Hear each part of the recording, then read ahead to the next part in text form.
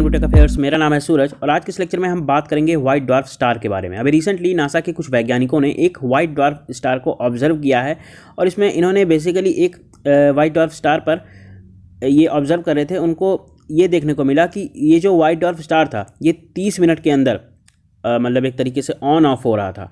यानी इसकी जो ऊर्जा थी, इसकी जो लाइट थी, चमक थी, वो तीस मिनट में पृथ्वी पर आ रही थी, फिर तीस मिनट के लिए बुझ जा रही थी, बंद हो जा रही थी। फिर तीस मिनट के लिए आ रही थी, फिर तीस मिनट के लिए बंद हो जा रही थी। और यूजुअली ऐसा होता नहीं है। ऐसा होने में करीब एक हफ़्ते से लेकर महीनों का समय लगता है। तो इस वजह से ये काफ़ी इंपॉर्टेंट है। और ये switch on and off event क्या है, इसके बारे में भी हम इस लेक्चर में बात करेंगे। तो स्टार्ट करते हैं इस लेक्चर को। उससे पहले अगर आपको इस लेक्चर की पीडीएफ चाहिए तो पीडीएफ के लिए आप ज्वाइन कर सकते हैं हमारे टेलीग्राम चैनल को, जहाँ पर आपको इस लेक्चर की पीडीएफ मिल जाएगी। और आगे बढ़ने से पहले मैं आपसे एक क्वेश्चन पूछूँगा। काफ़ी सिंपल सा क्वेश्चन है। क्वेश्चन ये है which of the following is a white dwarf star यानी निम्न में से कौन एक वाइट डॉर्फ स्टार है? तो चार ऑप्शन आपके पास हैं। पहला I K Pegasi Polaris Betelgeuse और सीरियस बी इस कूट का प्रयोग करके आप इसका आंसर दीजिए। इसका आंसर मैं आपको दूँगा इस वीडियो के एंड में। अब हम बात कर लेते हैं न्यूज़ की। तो न्यूज़ क्या थी इसके बारे में रिसेंटली तो रिसेंटली अभी एक अंतर्राष्ट्रीय टीम ने देखा कि एक वाइट डॉर्फ स्टार ने अपनी चमक तीस मिनट में ही खो दी है। इस प्रक्रिया में आमतौर पर कई दिनों से लेकर महीनों तक का समय लगता है, जैसा कि मैंने आपको अभी बताया। और एक वाइट डॉर्फ स्टार की इस घटना को स्विच ऑन एंड ऑफ़ घटना के रूप में क्लासीफाई किया जा रहा है। इसको आने वाले अभी कुछ मिनटों में आपको डिटेल में बताऊँगा कि ये किस तरीके से हुआ है। साथ ही, ये नासा का जो हबल स्पेस टेलीस्कोप और ट्रांजिटिंग एक्सोप्लैनेट सर्वे सेटेलाइट है, जिसे टेस्ट कहा जाता है, का उपयोग करके एस्ट्रोनॉमर्स ने कई वाइट ड्वार्फ स्टार्स की पहचान की है। और अब हम बात कर लेते हैं वाइट ड्वार्फ स्टार के कंस्ट्रक्शन के बारे में, ये बनता कैसे है? वाइट ड्वार्फ स्टार जो होते हैं, उनमें उपस्थित जो हाइड्रोजन होता है, वह न्यूक्लियर न्यूक्लियर फ्यूज़न यानी नाभिकीय संलयन की प्रक्रिया में पूरी तरीके से ख़त्म हो जाता है। और ऐसे तारों का घनत्व जो होता है वो बहुत अधिक होता है। एक सामान्य सफ़ेद बौना यानी वाइट डॉर्फ स्टार हमारे सूर्य के आकार का आधा होता है और इसकी सतह का गुरुत्वाकर्षण पृथ्वी से लग, लगभग एक लाख गुना अधिक होता है। यानी ये बहुत डेंस होते हैं। और सूर्य जैसे तारे नाभिकीय संलयन अभिक्रियाओं के माध्यम से अपने केंद्र में हाइड्रोजन को हीलियम में रूपांतरित करते रहते हैं।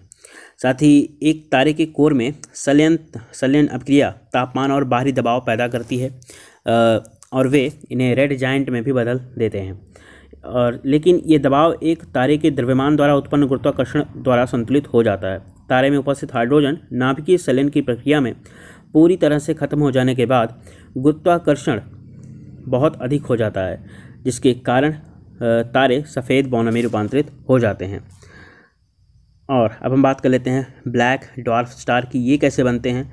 तो वाइट डॉर्फ स्टार को ब्लैक डॉर्फ स्टार बनने में सैकड़ों अरबों वर्षों का समय लगता है। और क्योंकि ब्रह्मांड के सबसे पुराने तारे केवल 10 अरब से 20 अरब वर्ष पुराने हैं, इसलिए अभी तक कोई ब्लैक डॉर्फ स्टार ज्ञात नहीं है।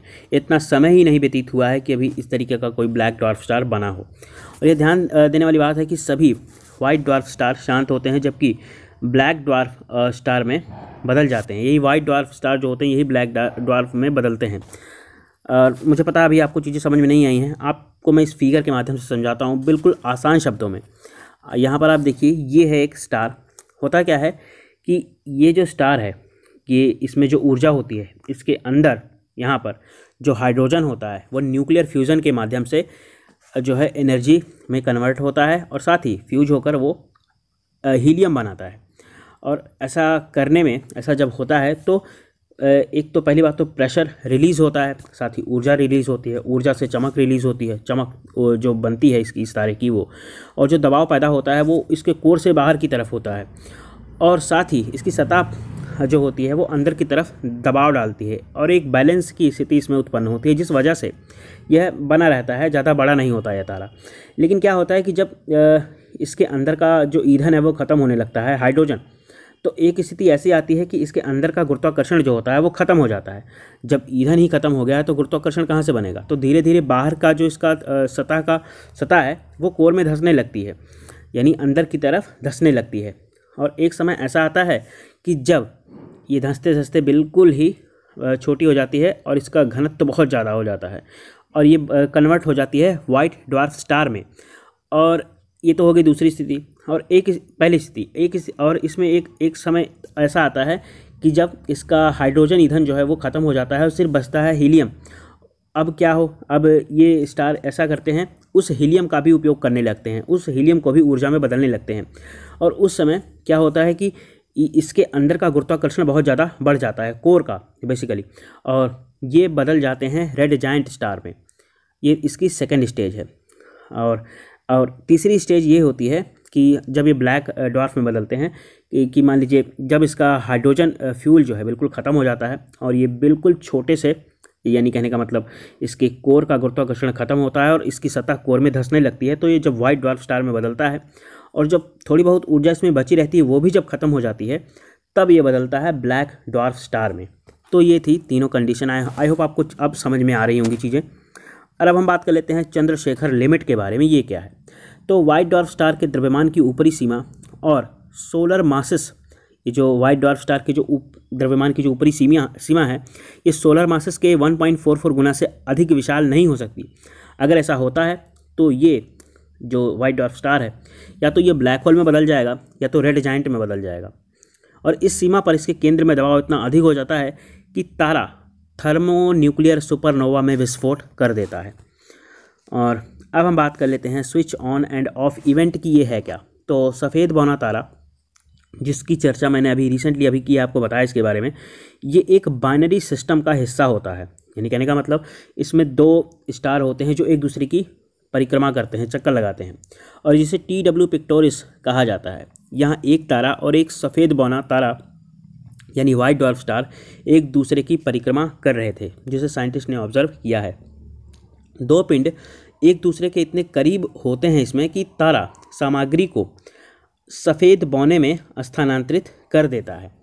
यानी इस फिगर के माध्यम से आप देखिए कि इसमें ये जो वाइट डॉर्फ स्टार है और इसके बगल में जो स्टार है, ये एक दूसरे की परिक्रमा करते हुए भी, करते करते इस स्टार की, ये वाइट डॉर्फ स्टार इस स्टार की जो डस्ट है, जितना भी मटेरियल है, इसको खींचने लगता है अपने चारों तरफ़।